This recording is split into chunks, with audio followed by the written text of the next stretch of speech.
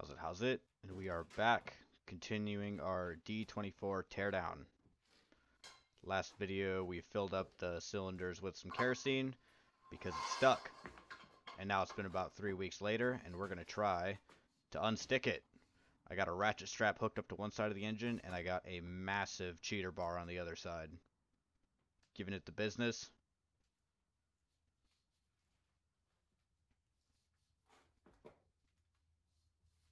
And it doesn't look like it's going to happen.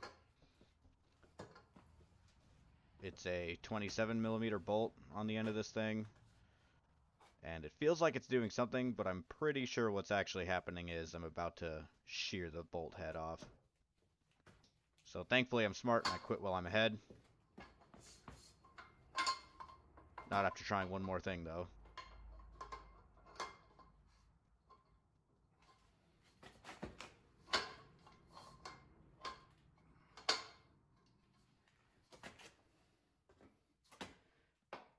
Give her the beans. Same story here. So, not freeing up the engine. Time to take her apart.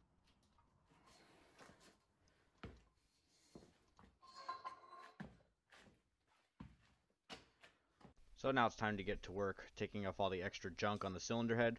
We're going to start with the intake manifold on the back. And like everything here, you're going to want to free it up with tons of PB Blaster. PB Blaster is your friend. The intake manifold is 6mm Allen's. Should be a piece of cake. It's usually the exhaust that gives you trouble. But I have it hooked up to a breaker bar, and that was probably unnecessary.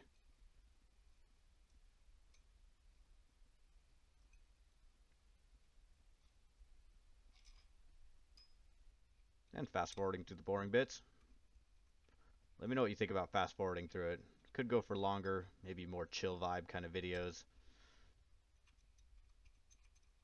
I feel 15 minutes or 30 is a pretty good mark. But let me know what you think. And I got a surprise for me in that cylinder number one. Just wait.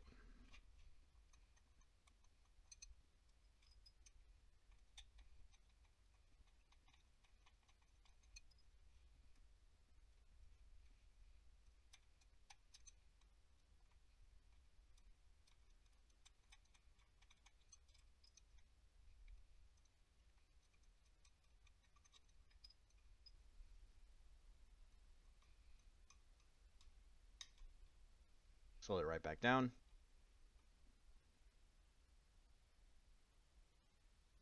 Whoops. Hmm. There's water in cylinder one, which is not a good sign. That's probably why our engine is nice and stuck, and I just gave it a smell test. I'm not eating it, don't worry. Just to be sure it's not coolant, and it is water. So water in your engine is not a good sign. It'll definitely lead to it being stuck you'll get a buildup of rust and your engine will freeze. So there's a good chance that's what we're doing here.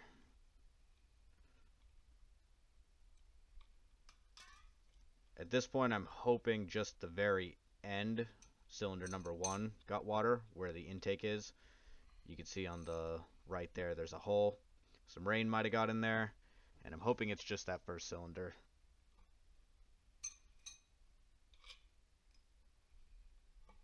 And off it comes. We have a bit of fuzzy aluminum corrosion there, but it's just powder at this point. Yeah, just grab it. There we go. Just powder. Nothing to worry about. Cylinder 1 is the issue. Sludge. And now it's time to take off the exhaust manifolds. These are 12 millimeters, surprisingly. And these are the troublesome ones. If you get any issue with things shearing, not coming off, these will be the ones. But this time they actually come off really easily for once. The 1-6 I worked on, no way. There, every last one of them was trouble. Rounded them all off. But it looks like I got lucky here.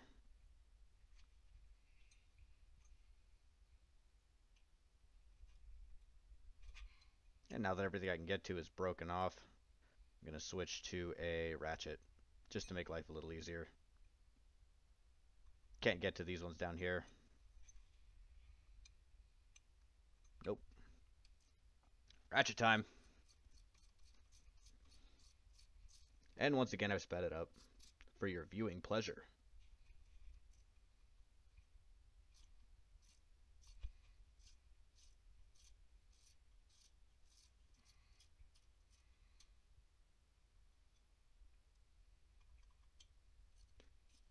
There's a lot of just doing the same sort of thing in this video over and over again.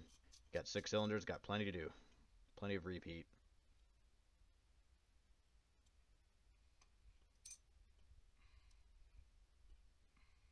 There we go, there's half of them off.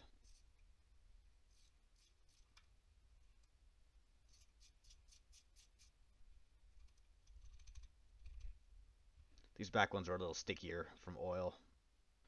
They wanted to stay in the socket.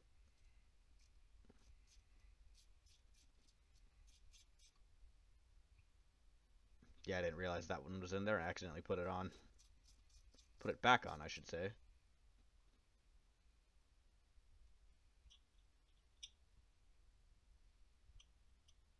Trying to grab all the washers that come with them too. I don't want them running off.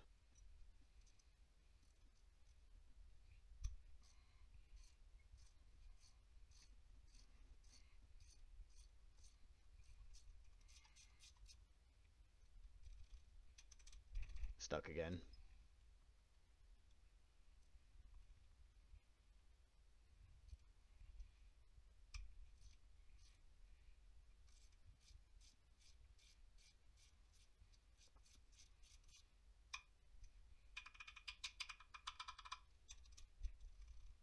Come on. And I just fished it out with a bolt from the intake manifold. And because of the bend in this exhaust, I can't actually get to it, so it's on it with the end wrench. And then this is one of those eighth turned at time, so I just skip ahead. And off it comes. Now for both of these, they got the gaskets, so I'm just to peel all the gaskets off. And who knows, I might be naughty and reuse them. But they're the same as a 1.6, so they should be pretty easy to find replacements. No excuse.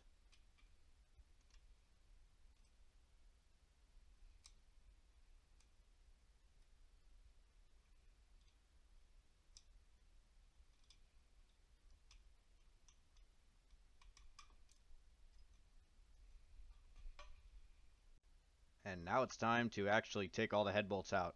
You're going to need a special tool for this. This is an M12 triple square. It's something that Volkswagen and Mercedes are absolutely in love with. You'll have to get yourself some uh, specialty tools for it. And these are really on there. I really wish that I had turned on the phone camera on the tripod because then you'd be able to see me just writhing around on the ground while I try to turn this breaker bar into a rowing machine. Remember to use your strong muscles, like your legs. And if you're wondering why I'm not working on this on an engine stand, because the engine is stuck, I wasn't able to get the torque converter off. So now there's just a giant torque converter on the back, and I can't put it on an engine stand. So I'm just stuck doing it the hard way.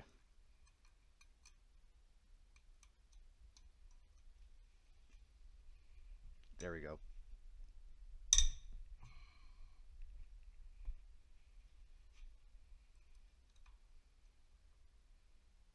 And I just realized that one of the head bolts is covered by the vacuum pump. In hindsight, I think you could pull the plunger out from the front from where you are right now and you don't need to take it off but I end up taking it off. Probably want to do that anyway. Come on, big man, you got it. And now it's fast forward O vision.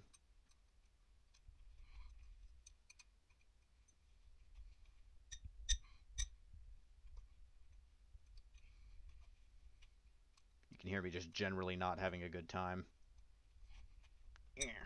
Both legs this time. Look at that.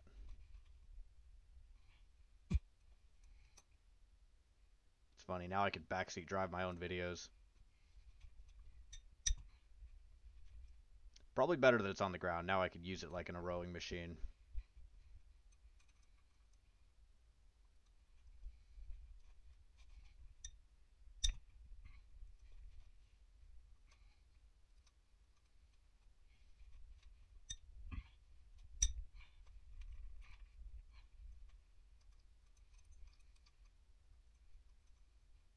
These bolts are all they're all stretch bolts. So they're pretty on there, but once you just break them loose, they come out pretty easily. So they're torqued down to the point where the bolts actually stretch, but it's just uh, elastic deformation. So the springiness keeps it down, the head down.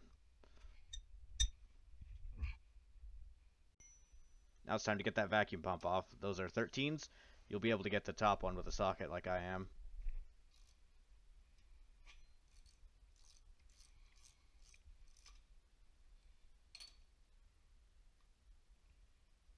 That's the easy part, and it's got a washer, don't let it get away.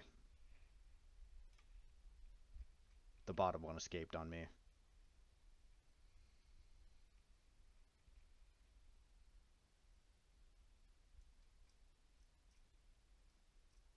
Forget it, man. You're not going to get it. Not with the gloves. And you need an end wrench for the bottom, like I said, because the angle that that pump comes out at and that's pretty tedious, so just give it one turn and skip ahead.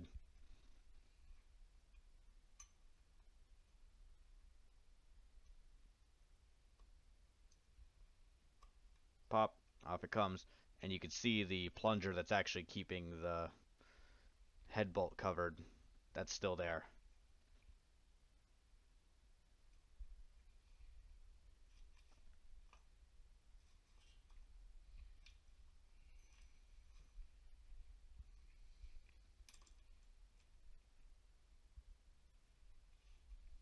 but you could just fish it out.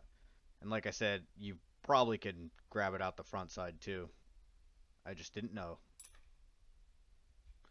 Now there's just a couple more things. There are some sensors in the front, a sensor in the back, of course the head bolt that I apparently forgot about. But sensor in the front, sensor in the back, those are just held on with spade clips. There's a bracket. I see I already took the bracket off in this clip and then this glow plug line that's looped around on the engine side or on the block side. It's an 8 millimeter to take it off. To take off the very end, I see they designed it in. You don't actually need to take the nut all the way off. It's a fork, fork-shaped clip. And now that everything's broken loose, time to rip them all out.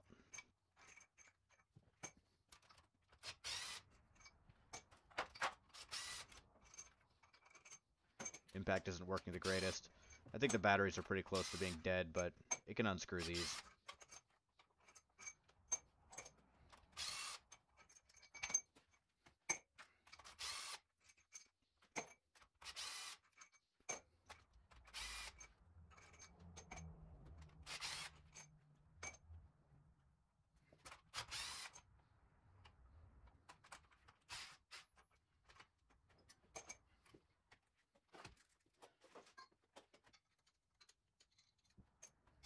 There's also washers.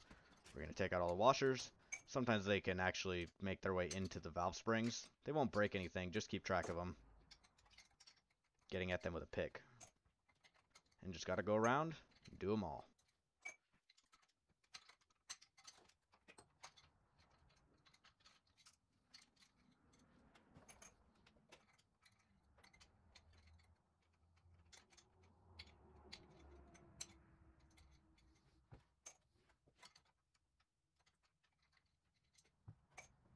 Hmm, way hey and up she rises. There we go. Got the head off. But not before it pees all over the place. And now it's just time to clean it up. I got lucky. There was water in cylinder 1, but because it was at top dead center, it didn't actually fill with water. But cylinder 3 did. It was actually quite full of uh, water, and there's a lot of rusty buildup. Right now I'm just sponging it all out. going through and getting the brake clean and wiping down everything so I could see if there's any issues. Just going between the block and the head, whatever one I'm not fumigated out of.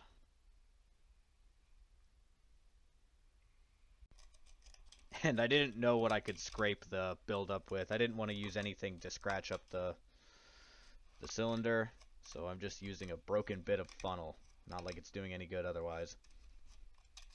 And I get most of it, too.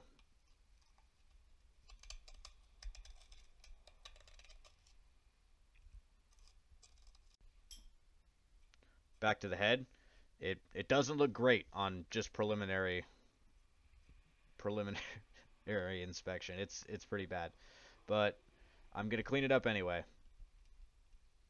You'll see the the GoPro isn't really the best for these shots. You can't really see exactly what I'm seeing, but I'm going to give it a pass with the phone and you'll be able to see some of the issues we got. But right now I'm just cleaning. I don't want anything to be hidden under soot and grime.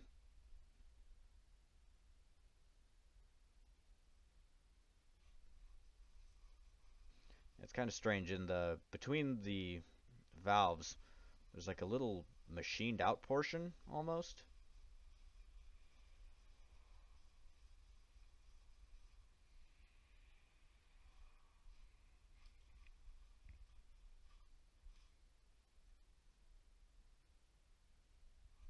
Get that wiped down really quick. I'm probably getting lightheaded by this point. I did that a couple more times. But now here's the end result. Here's cylinder 1. Looks alright, little bit of crud. Cylinder 2 has a tiny bit of rust. You can see it on the sleeve there. But it's actually not that bad. What we're really looking out for is pitted rust. This is all just raised rust and it could be cleaned right off. This was our cylinder that was full of water. You can see there's a bunch of junk. Can't really see the crack between the piston and the cylinder. Here's number four, if I could count. It's actually not that bad. You can see the piston has a bit of pitting, but that's not too bad. That won't really break anything. And pistons are a dime a dozen for these things. Number five. Not too bad. That's mostly just brake clean. And here's number six. It's looking pretty good. And if you'll note, we had a head gasket blow right here, but it doesn't look like it blew super bad. It might have just been seeping. And here we are on the cylinder head side, and every one of the cylinders has a crack between the valves. Now, Volkswagen phoned it in pretty hard on this engine, so there's actually a spec for what an acceptable amount of cracking is. It's a half millimeter, which in America speak is about 20 thousandths, which is kind of a lot for a crack but I won't be able to actually look at them until I get these valves out and I could get some feeler gauges in there. You can see that weird machining. This one is the worst. It's not only cracked but raised. You can hear with my fingernail these last two, they're raised a little bit. All the other ones, pretty much fine. They also tend to crack by these pre-chambers, but it doesn't look like it's cracked at all. So next video, we're going to be taking this head apart so I can get some feeler gauges into those cracks. Uh, it doesn't look too great, but we're just going to play the hand we were dealt.